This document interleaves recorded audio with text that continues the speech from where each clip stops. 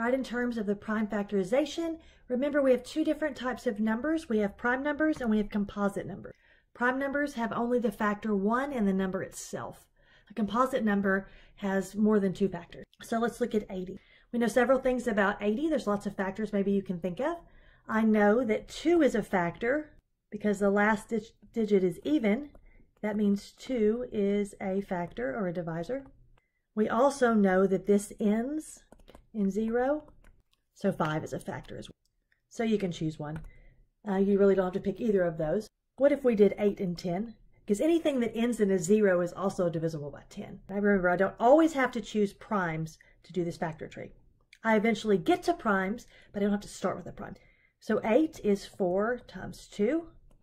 I circle the prime. And then 4 is 2 times 2. Both of these are primes, so I circle them. Then I look at the prime factorization for 10. That's 2 times 5, and both of those are prime. So then we look at 80 and we say, okay, well that's 2 times 2 times 2 times 2. We always write them in order. Notice I have 1, 2, 3, 4 of those times 5. Let's check our answer. There we go. And you could also write this with exponents. This is 2. There are 1, 2, 3, 4 of them. 2 to the fourth times 5. Okay, again, I want to stress, I do not have to choose a prime number to start this. I can pick composite numbers. I'm going to keep breaking this down, though, until everything I have at the end of these little um, brackets will be prime numbers. Let's do some more. 86. So 86. Again, there are lots of different things you can multiply together to get 86. I'm just going to go ahead and start with a divisor of 2. I know that because this is even. The last dig digit is even. So I know this is divisible by 2. And I'm writing this in different ways. This number is divisible by 2. We could also say 2 is a factor. So the, that language means the same thing, just trying to show you different ways of writing these things. Okay, well then 86 divided by 2, what's that, 43? 86 divided by 2 is 43. And you can keep trying. Let's see. Okay, can we divide 43 further? Can we break that down further? We know this one's prime, so I can circle it. So 43. Let's go through 43. Okay, well, we know it's not divisible by 2 because it's not even. It's not divisible by anything even. Okay, then we check, is it divisible by 3? So 4 plus 3 equals 7. Remember, if a number is divisible by 3, the digits will add up to a multiple of 3. So it's not divisible by 3. So if again, if a number is divisible by 3, if you add up the digits, the sum of the digits will be a multiple of 3. So that's why we did this. 4 plus 3 is equal to 7. That is not a multiple of 3, so it's not divisible by 3. Okay, and we said it's not divisible by any even number. It's not divisible by 5 because it does not end in a 0 or a 5. And you keep going down the list, right? So let me write down what we've eliminated. 2, we said that won't work. 3, we said it won't work. All other evens we've thrown out. 5 won't work because it doesn't end in a 0 or a 5. 6 doesn't work because it's not divisible by 2. It's not divisible by 3. 7, let's try 7. Okay, well, 7 times what is 43? Well, I know 7 times 6 is 42, so that's not going to work.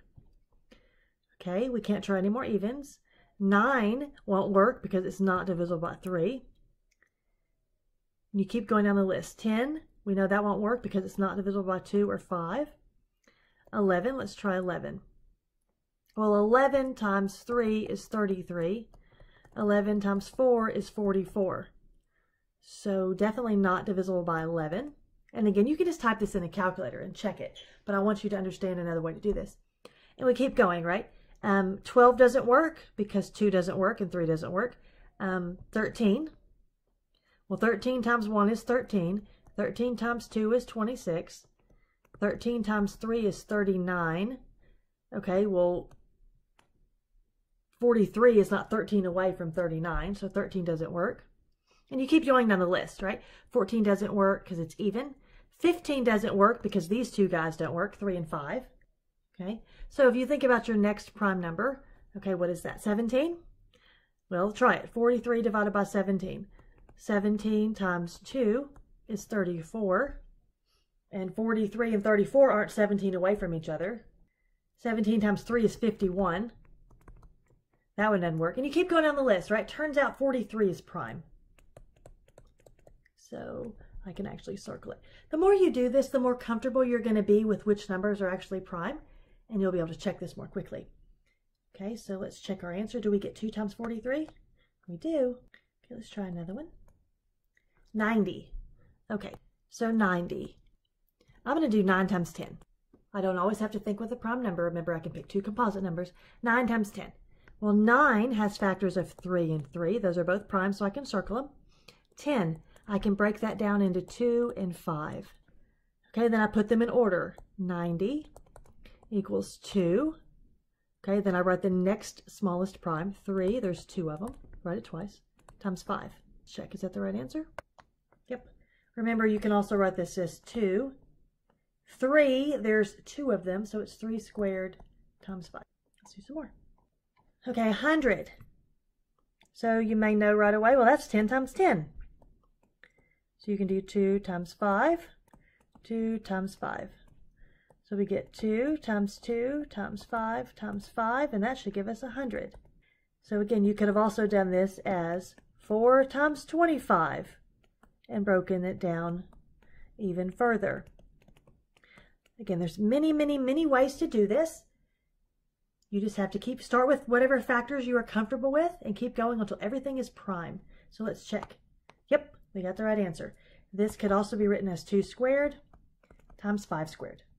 Okay, so these are just practice for you. I encourage you to write these down, try them on your paper, and then check them with what I get. Okay, 195. Not really sure what to do because this ends in a 5. I know I can use a 5 right here. Okay, but then maybe you have to divide it out. So 195 divided by 5. 5 times 3 is 15, 45, so it looks like a 9, 39. Okay, you can again, you can use a calculator. 5 is prime. 39 is not. So 39 I know is divisible by 3 because 3 plus 9 is 12 and this is a multiple of 3. So remember, if you're if you add up the digits and you get a multiple of 3, you know 3 is a divisor. So 3 times what? Okay, it looks like 13. Okay, and we know 13 is prime. So 195 is 3 times 5 times 13. We know multiplication is commutative, so 5 times 3 times 13 still gives 195, but we write this in terms of smallest prime factors, and then we go bigger and bigger and bigger.